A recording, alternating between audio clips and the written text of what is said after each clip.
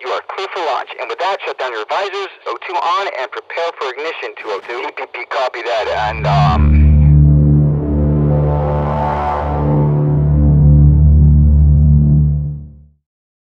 Hey, Mr. Rueschhoff here. All right.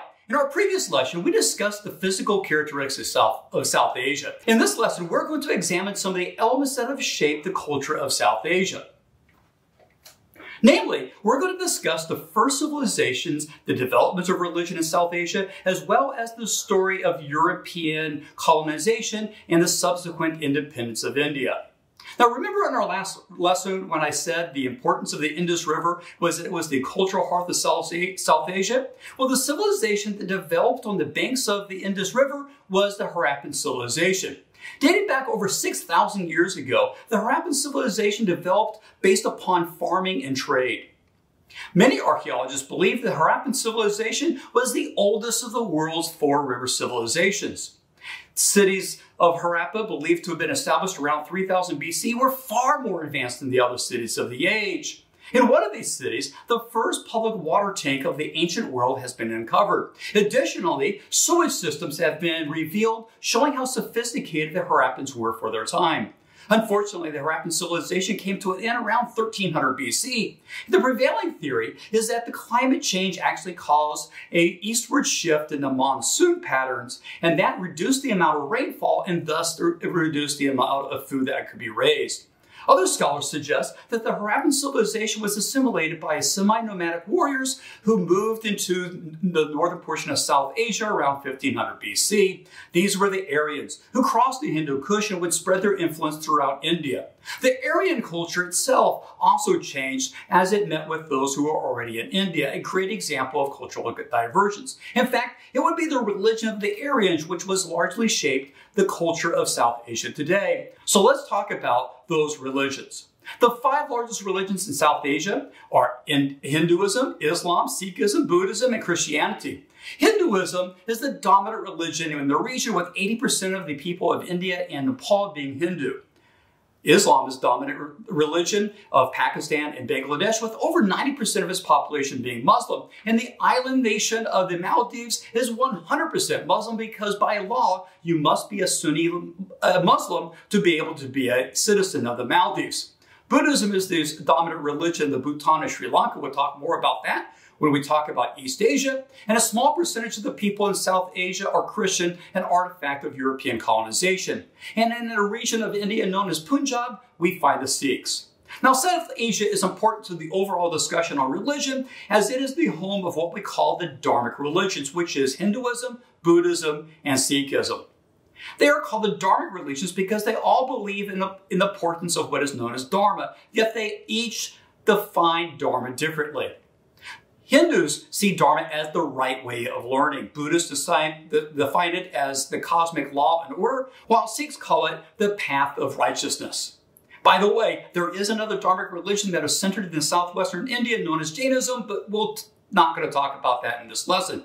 Instead, we'll discuss the larger three Dharmic religions, starting first with Hinduism. Hinduism is a direct result of the Aryans as they migrated down to South Asia.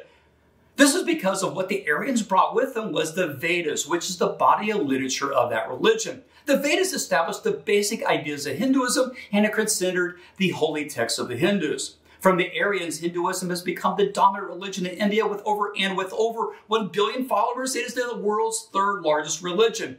Hinduism believes in a supreme god known as Brahman. However, Brahman can take on the form of many other gods, such as Vishnu and Shiva and many, many others.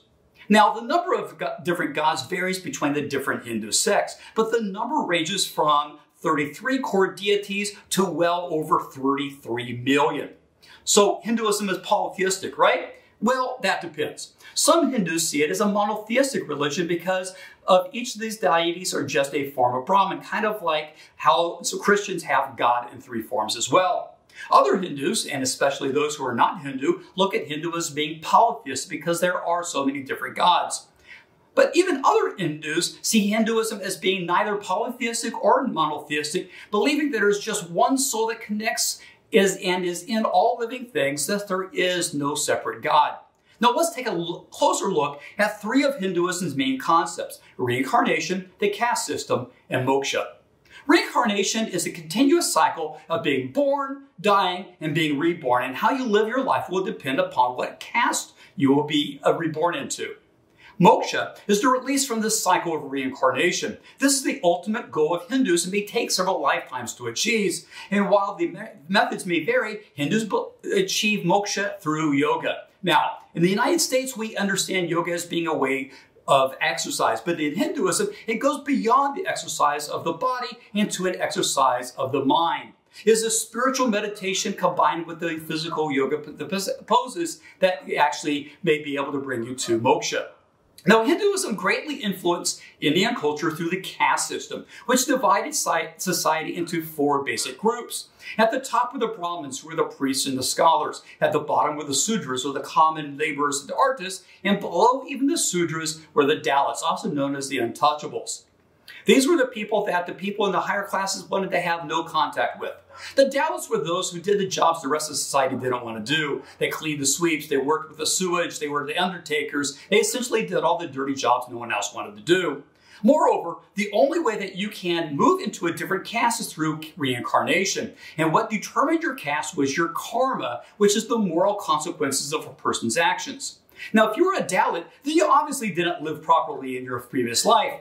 But if you live your life by good dharma, the right way of living, then you would be rewarded with good karma and reborn into a better caste. The social implications of Hinduism, the caste system, were important as it is another example of how religion helps structure society and manage human behavior. However, this also brought discrimination, especially against the untouchables. For example, untouchables were often excluded from education opportunities because it was considered unneeded. And while the caste system was officially outlawed in the 1949 Indian Constitution, these still attitudes persist in places in India. The second dharmic religion is Buddhism, which began in Nepal. Buddhism is based upon the teachings of Siddhartha Gautama, the Buddha or the Enlightened One. Siddhartha Gautama was a prince who one day left his palace walls and was horrified by what he saw. He saw poverty, illness, and death. In other words, he saw suffering. So he went and went to go meditate for a long time, trying to find a way to escape suffering. This led him to the Four Noble Truths. The first noble truth is there's suffering. The second is the suffering can, is caused by our own selfish desire. The third is that there is a way from suffering, and the Eightfold Path is the way out of that suffering.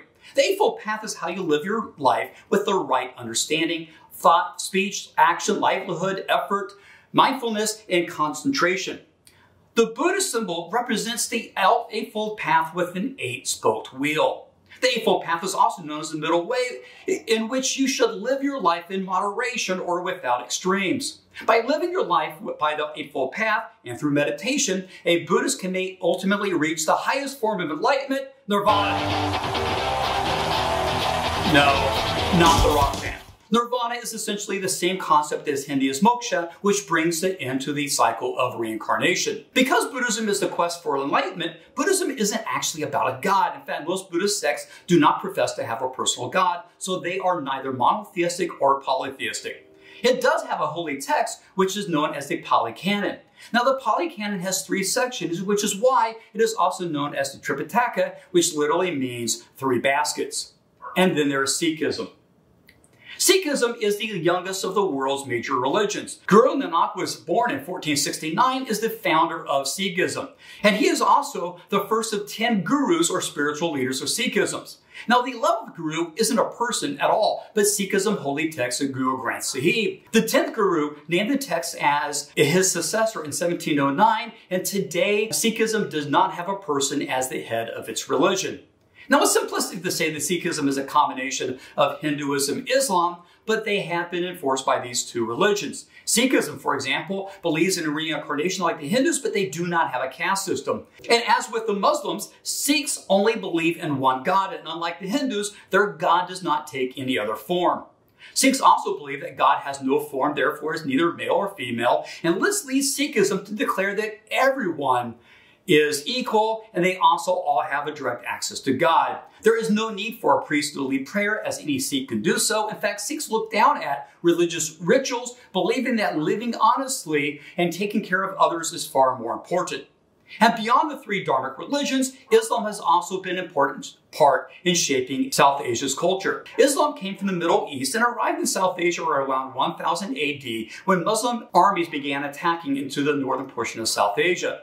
In 1526, Babar led an invasion through the Hindu Kush Mountains into South Asia and established the Mughal Empire. The Mughal Empire was Muslim but didn't force people to convert. However, it has been important to the culture of India.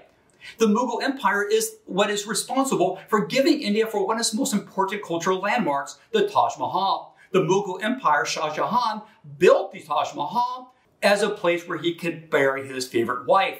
Today, over 8 million people a year visit this site. Although the Mughal Empire didn't force the conversion of subjects to Islam, many South Asians did convert. And today we find 90% of the people in Bangladesh and, and Pakistan are Muslim. And just as we've seen with the other regions in the world, South Asia has been impacted by European colonization and the quest for independence. We find that Europe has a long history with India. Alexander the Great conquered the Indus River Valley and much of Punjab by 326 BC. The Romans established trade with India by crossing across the Red and Arabian Seas in the first century. But colonization really begins with the Portuguese when the sailor Vasco da Gama reestablished trade relations in 1499. The Dutch would follow them, and then would come the British. The Europeans came to India for three main reasons trade for spices, to expand their empires, and to spread Christianity. The most powerful of these was the British East India Company. And by the mid 1880s, it had displaced the Mughal Empire and it had achieved control of all of the Indian subcontinent in the name of the British Empire. As with many other regions of the world, British colonization came with advantages and disadvantages. The positives were that the British brought with them better ways to farm or produce food, they built roads and even railroads throughout the subcontinent, and they would introduce democracy to the region. Unfortunately, the Indian people themselves were treated as second class citizens. Also, the British changed agriculture, which made the region more prone to have famines because cash crops were more important than staple crops. This upset many Indians who wanted independence. In 1885, the Indians formed the INC, or the Indian National Congress, to demand rights from the British, demands that the British ignored. This began the Indian nationalism movement. Nationalism is when people claim a national identity based upon political ideas. And India's goal was independence from Britain. India's independence leader was Mohandas Gandhi, who led the movement to independence through nonviolent non-cooperation. He would protest the British by going on hunger strikes. He led peaceful protests such as the famous Salt March. He also led boycotts on English goods such as cloth and salt. This often caused Gandhi to be thrown in jail, but his devotion to nonviolent protest would serve as an inspiration to American civil rights leaders such as Martin Luther King Jr. Ultimately, Gandhi was successful, and after bearing the cost of the Second World War, Britain finally granted India independence in 1947. However, Muslims in India also wanted their own separate independence from the Hindu dominated India. And when they threatened civil war, Gandhi, who always wanted peace, agreed to split India into two parts, India and Pakistan. In this great partition, Bangladesh was part of Pakistan known as East Pakistan. But because of the partition was based upon religion, this meant the Hindus that lived in Pakistan had to move to India and the Muslims that lived in India had to move to Pakistan. And all 16 million people were forced to move. And of these, nearly 1 million people died in the resulting riots and massacres. Today, there is still a great deal of tension between India and Pakistan. And this is significant because both countries have nuclear weapons. An example of such dispute is Kashmir. Frequently, armed conflict breaks out between India and Pakistan due to both countries claiming Kashmir as part of their country. The claims largely revolve around the fact that major rivers, including the Indus River, flows through Kashmir. Thus, control of Kashmir means the control of water. What makes this even more interesting is that China also claims portions of this territory, meaning that there is actually three nuclear armed countries competing over the same portion of land. Whatever could go wrong with that?